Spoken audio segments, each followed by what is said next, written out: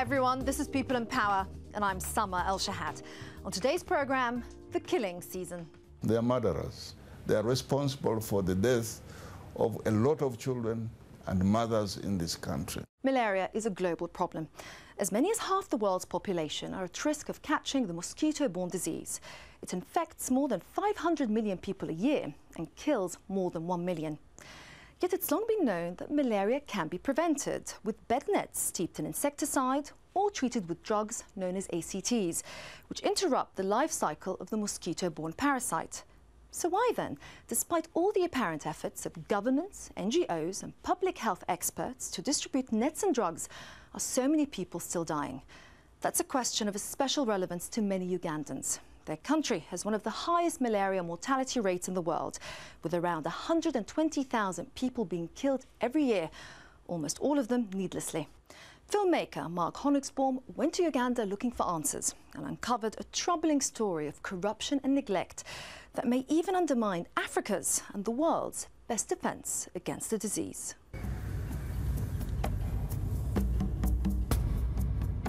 For 20 years, the Kitgum region of northern Uganda was at the mercy of the Lord's Resistance Army, a rebel group infamous for rape, murder, and the abduction of child soldiers.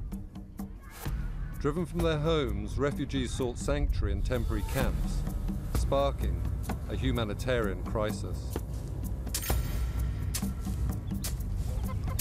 Today, the rebels are gone, but as life returns to normal, a new war has begun. The enemy this time, malaria.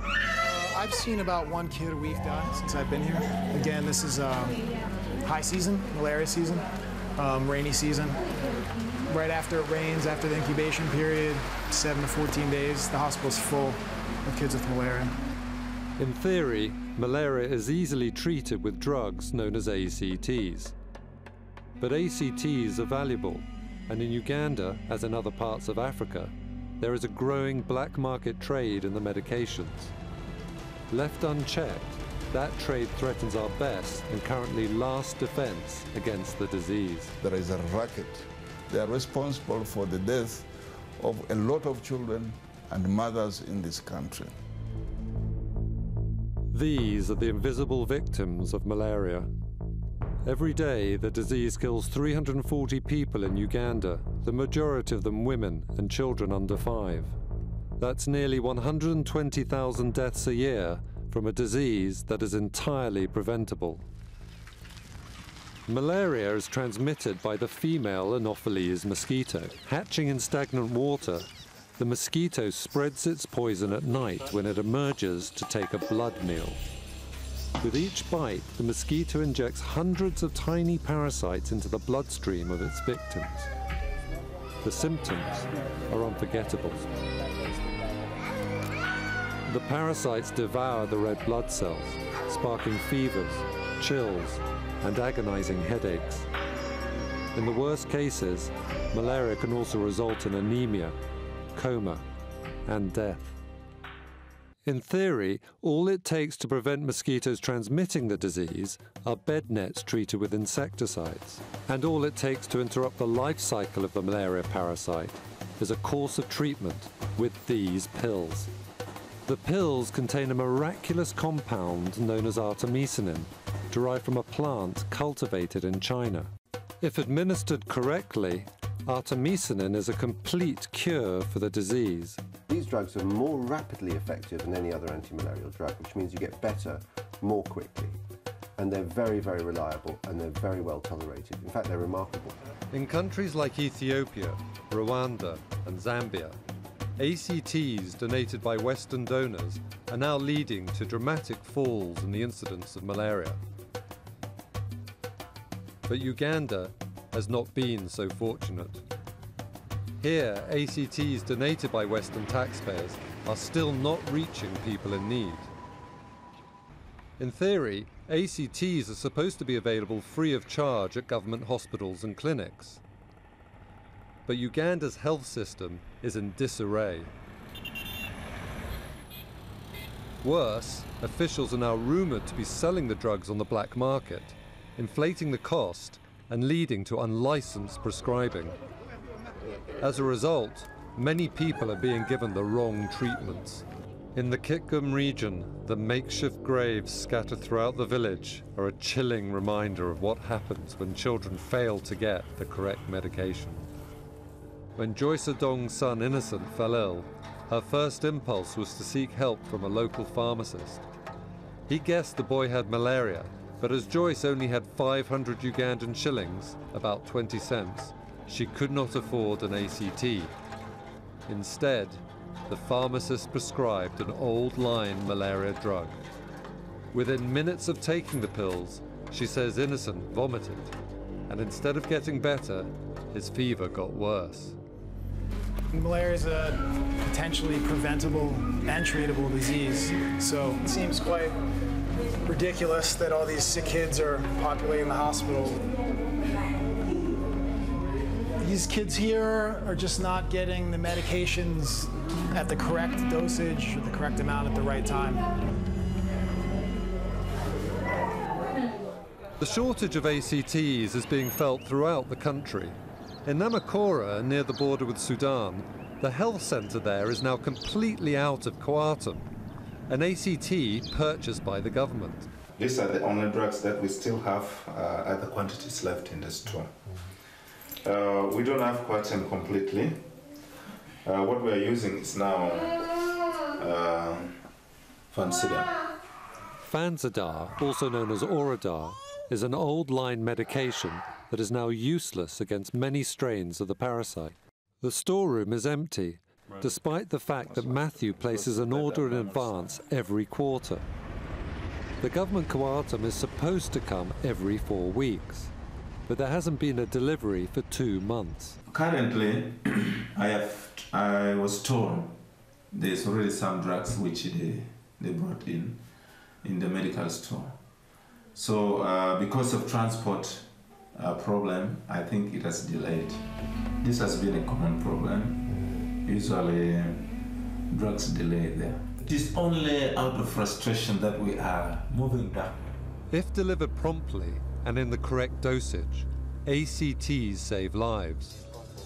But all too often, the medications don't reach women and children in time. According to Dr. Lawrence Ojum, the results can be heartbreaking. He's still stiff. You see? Can see? This is stiff. So this child we need to right now again put on more more treatment. Uh, this child can recover, but uh, my concern is the child could end up with some residual brain damage. Kitgum General should be the first port of call for emergency cases, as treatment there is free. But because the drug supplies are erratic, many patients prefer to go to St. Joseph's, the local Catholic missionary hospital. Over we have now 633 patients, but 439 are children. Look at the magnitude. And these children are mainly malaria, 80% actually cases of malaria. Last night, actually, we had three children referred. Uh, one died because of real anemia. The second one came actually with convulsions from, I would say, a distance of about 25 kilometers away. That one also came. We started treatment, but could not really catch up. And the other one had pneumonia with malaria, also died. This is what happened last night. And this is a common trend. Many of the casualties are buried in the grounds of the hospital. Often the difference between life and death is as simple as providing good quality care at the local level. Unfortunately, many drug shops don't have the facilities to carry out proper diagnostic tests. Worse, even when patients are prescribed the correct drugs, many fail to complete the treatment. We're all familiar with these issues when the doctor tells you to, you know, take 10 days of penicillin and you take it for a day and you feel better and then you forget. And this is a, a common thing in developed countries too. Um, with something like malaria, it's even more important that you take the full course. If you don't, you're having a, a suboptimal level of the drug in your system and you might start creating resistant organisms. And that's that's the biggest fear is that these artemisinin and artemether derived combinations, if they're misused and resistance develops, it's a big problem. Not just for Uganda, for the whole world. This is Pailin in western Cambodia. It was here that in the 1960s resistance first emerged to chloroquine, then the standard treatment for malaria. Within a few years, migrant workers had spread resistance to other parts of Asia. In the 1980s, the same thing happened with Fansidar. Then, in the late 1990s, resistance spread to Africa, prompting the World Health Organization to call for governments to switch to ACTs. Now, scientists fear history could be repeating itself. It usually takes just 48 hours for artemisinin to clear the bloodstream of parasites. But some Cambodian patients now require higher doses and are taking almost twice as long to recover. If artemisinin follows the same pattern as chloroquine and Fansidar, then within 30 years that resistance could spread worldwide. Professor Nick White first read about artemisinin in the 1980s. He's now a leading campaigner for ACTs. If artemisinin resistance spreads to Africa, we will have a replay of what happened with chloroquine resistance. Rising mortality and morbidity, more children dying, more sick children, more anemic children, more children who can't go to school, more low birth weight babies. It's a humanity, it will be a humanitarian disaster, and it's avoidable. The causes of resistance are complex, but one of the drivers is the black market trade in malaria drugs. In July, a court in Kampala sentenced Annalisa Mondon and her widowed aunt, Elizabeth Nugarano, to five years each in prison. Their crime? Setting up a bogus company called Value Added Health and embezzling $16,000 in grants meant for HIV and malaria. The prosecutions are part of a much wider probe into the theft of money from the Global Fund for AIDS, Tuberculosis and Malaria, dating back to 2005. Very good evening and welcome to this edition of the 933 KFM Hot Seat. Charles Mwanguhya Mpagi with The scandal is a major talking point. Charles Mpagi, a Ugandan journalist who's been following the story for his radio show, says the authorities need to be tougher. It's beyond description that someone can act with such a level of impunity. And they were sentenced for only five years, uh, which is a bit of a disappointment. They should have served longer. In all, investigators suspect 38 officials of siphoning off around $1.5 million in Global Fund money.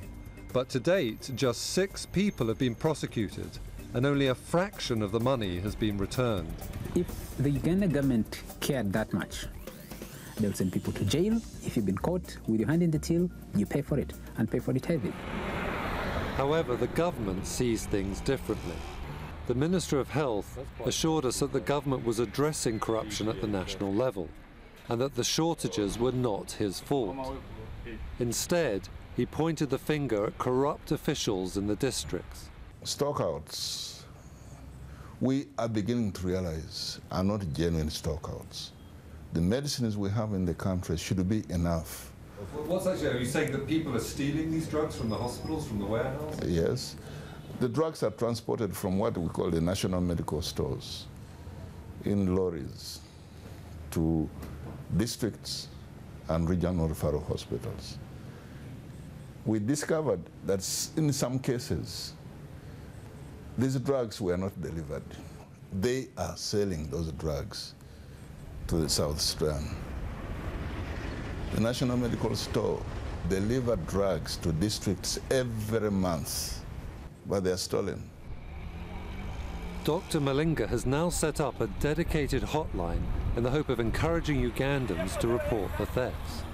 I'll tell them this look, the, your government is buying enough drugs for you. Your children, your wives, and the men have enough drugs in the country to cover all your illness, especially malaria. They are your drugs, you should be getting them free, but there are thieves who are taking them away from you. Either they are selling them in neighboring countries or they are selling them back to you. He also had stern words for the thieves. They are killers, they are murderers. they are responsible for the death of a lot of children and mothers in this country. Killing somebody is uh, a terrible crime. This is William Street in downtown Kampala, an area known as Pharmacy Village. At first glance, it looks like any other busy pharmacy district, but it's also home to a thriving black market. David Nahamya, a senior inspector with Uganda's National Drug Authority, is an expert on the gangs behind the illicit trade. They are very well organized. They don't sell over the counter. And they will not sell anybody to anybody. They will first, if they suspect, they will not sell to you. And but if they're comfortable with you, they will say, give me the money.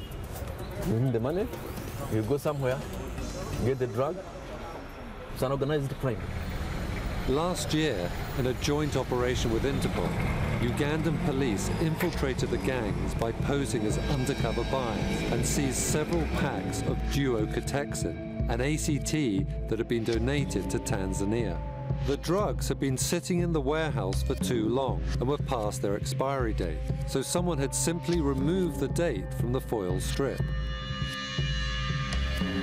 Inspector Nahamya also arrested two men for selling coartem stolen from the public sector.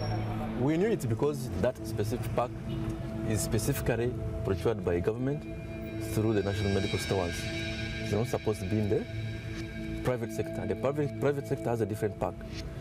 And um, when we trace it backward, of course, we found that maybe it was got from some health centers although the culprits were not able to reveal where they got it from. They decided to decide that they would rather get conviction. You see, they are, uh, they are diehards. They don't want to, to reveal where they got it from. Because they know, of course, our penalties are not very harsh. He will just be scot-free.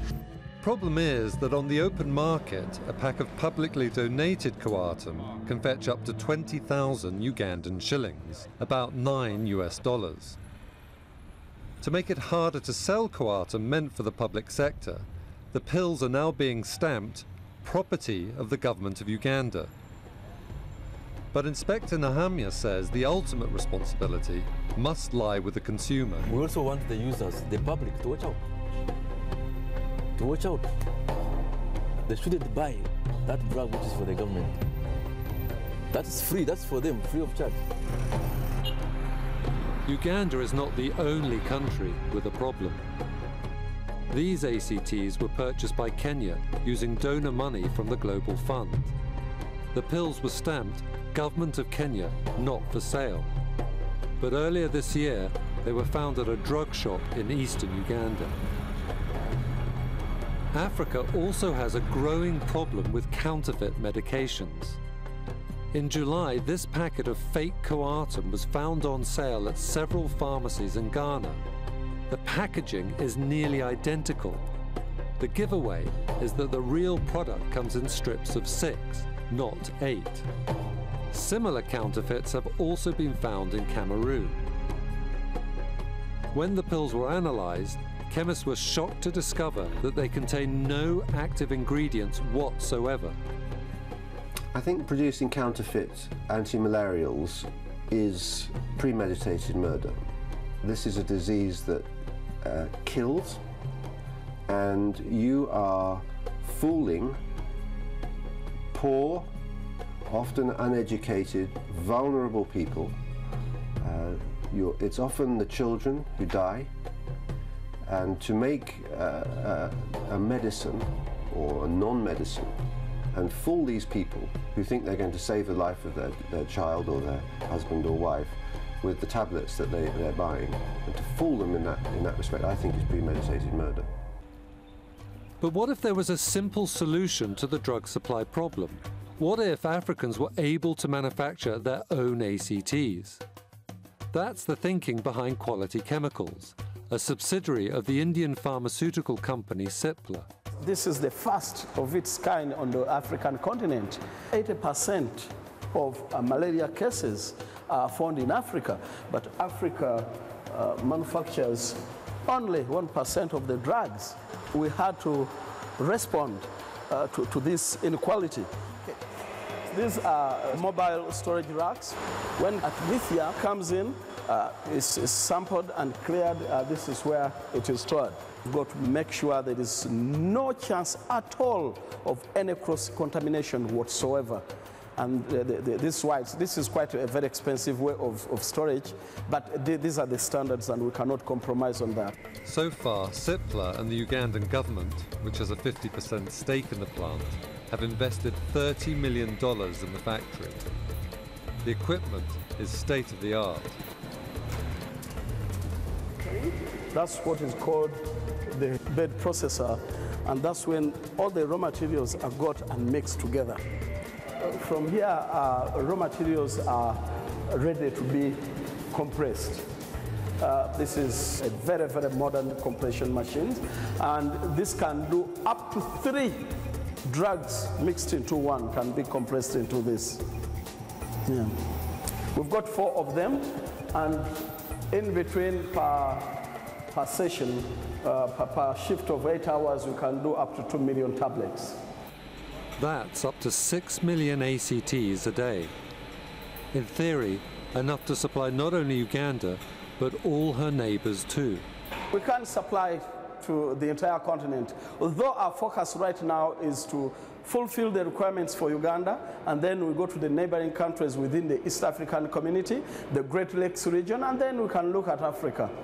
He also says the quality chemical ACTs would be easier to distribute. The drugs will get to be more quicker. Uh, because we shall get the raw materials on time, we shall plan our production processes on time, we shall get the products into the distribution channel, the public distribution channel on time, and then the drugs will reach the final consumer on time. However, despite the urgent need for alternative sources of ACTs in East Africa, Quality Chemicals has not been able to bid for donor funds to supply malaria drugs for want of the correct paperwork. Indeed, it was only in March that the World Health Organization finally granted Quality Chemicals its international seal of approval. Is that frustrating? It is indeed frustrating. It is indeed frustrating. This is an investment of over $30 million. You want it to be used to uh, 100% capacity. What we are trying to work towards is to see if we can sustain the anti-malarial campaign on our own in the country. Once the factory is approved by the World Health Organization, we shall be accessing these drugs much cheaper than importing them from outside. Even the government's critics say it's a gamble worth taking. It's a beautiful idea. That factory needs to get running. It needs to produce the drugs. Personally, I don't care how much money is sunk in at the beginning, provided at the end of the day it's able to produce the drugs that Ugandans need to be able to live an extra day.